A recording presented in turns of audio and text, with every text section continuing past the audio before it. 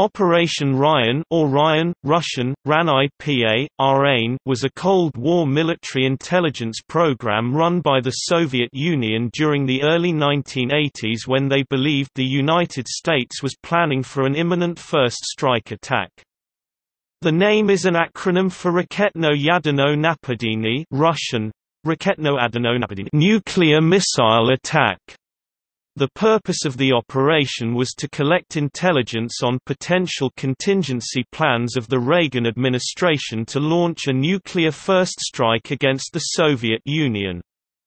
The program was initiated in May 1981 by Yuri Andropov, then chairman of the KGB. According to the historian Christopher Andrew, Andropov suffered from a Hungarian complex from his personal experience of the Hungarian Revolution in 1956. He had, as the Soviet ambassador to Hungary, watched in horror from the windows of his embassy as officers of the hated Hungarian security service were strung up from lampposts. Andropov remained haunted for the rest of his life by the speed with which an apparently all-powerful communist one-party state had begun to topple. Leonid Brezhnev and Yuri Andropov, then chairman of the KGB, justified the creation of Operation Ryan because, they claimed, the United States was actively preparing for nuclear war against the Soviet Union and its allies. According to a newly released Stasi report, the primary Chekist work discussed in the May 1981 meeting was the demand to allow for no surprise. The Soviet defector Oleg Gordievsky divulged a top-secret KGB telegram sent to the London KGB residency in February 1983. It stated, the objective of the assignment is to see that the residency works systematically to uncover any plans in preparation by the main adversary USA for Ryan and to organize a continual watch to be kept for indications of a decision being taken to use nuclear weapons against the USSR or immediate preparations being made for a nuclear missile attack. An attachment listed 7 immediate and 13 prospective tasks for the agents to complete and report.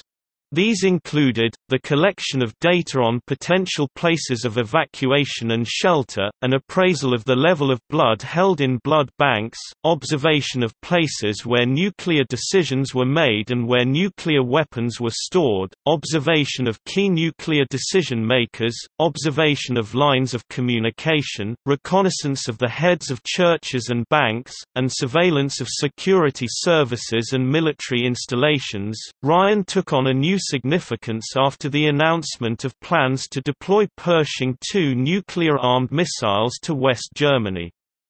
These missiles were designed to be launched from road mobile vehicles, making the launch sites very hard to find. The flight time from West Germany to European Russia was only 4 to 6 minutes approximate flying time from 6 to 8 minutes from West Germany to Moscow, giving the Soviets little or no warning.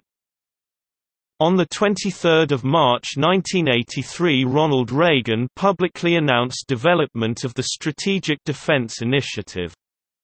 The Soviet government felt that the purpose of SDI technology was to render the U.S. invulnerable to Soviet attack, thereby allowing the U.S. to launch missiles against the USSR without fear of retaliation. This concern about a surprise attack prompted the sudden expansion of the Ryan program.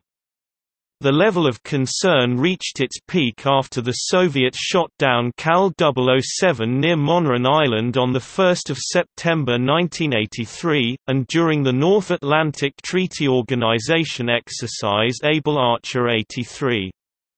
The Soviet Union believed that a United States first strike on the Soviet Union was imminent. Although Andropov died in February 1984, Ryan continued to be maintained and developed under the direction of Viktor Chebrikov.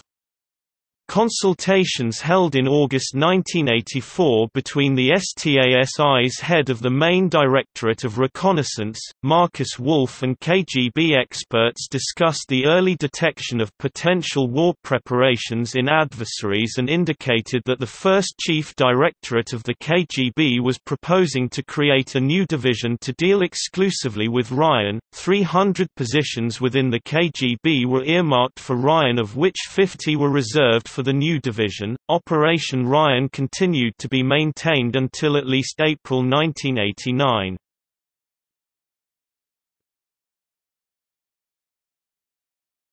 Topic See also